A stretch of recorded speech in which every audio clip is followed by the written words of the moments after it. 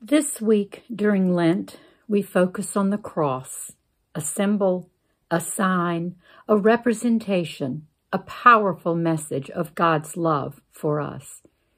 Hebrews 12:2 reminds us to look to Jesus, the pioneer and perfecter of our faith, who, for the sake of the joy that was set before him, endured the cross, disregarding its shame, and has taken his seat at the right hand of the throne of God. Look to the cross, that place of crucifixion, that place where one physical life ended so that we, the humans, would live forever in grace and mercy.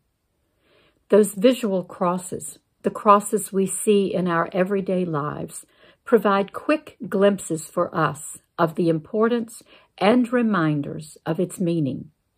Glimpses as we pass by a church with a steeple, three crosses together on a hillside, images of crosses on the screens we watch. What meaning comes to your mind as you see a cross? Do more than look.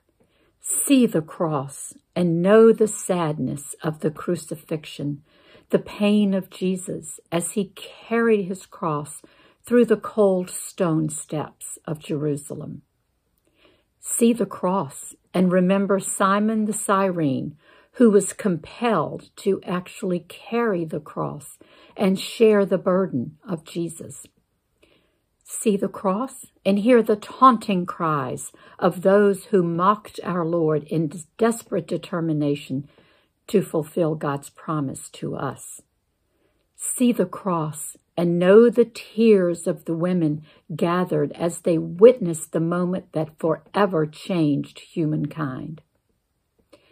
See the cross and know the joy of the resurrection, that Jesus Christ is in his rightful place, ready to welcome us. Know that because of Jesus, we live in God's mercy forever. You visually see the cross. Now let's look inwardly to the cross and feel the meaning of our Lord's sacrifice. He humbled himself and became obedient to the point of death on a cross. Look to the cross and see yourself, yourself in humility to others. Be yourself in all the glory God provided you.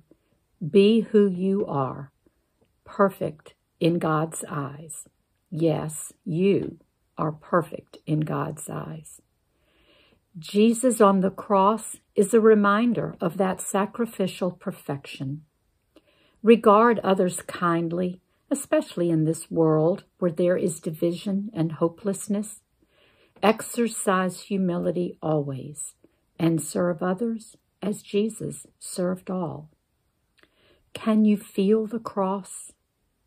We are not Simon actually carrying the cross, but can you feel in your hands the shape, feel in your heart the promise of the cross? Feel the power of Jesus on the cross. Feel in your hands the shape. Feel in your heart the promise of our faithful God. Hold the cross and know the love of God through the sacrificial death on that cross so many years ago, but so very relevant today. Go now and do unto others as our Lord would expect. Would you pray with me? Dear Heavenly Father, hear our prayers as we beseech you.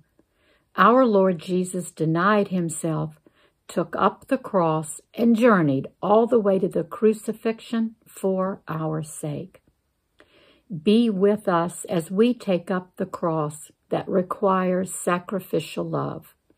Help us to follow you when we face challenges Allow us to look to the cross, see the cross, feel the cross, and especially to walk humbly in your steps every minute of our lives. During this season of repentance and reflection, help us more closely more willingly, more nearly imitate you. In Jesus' name we pray. Amen.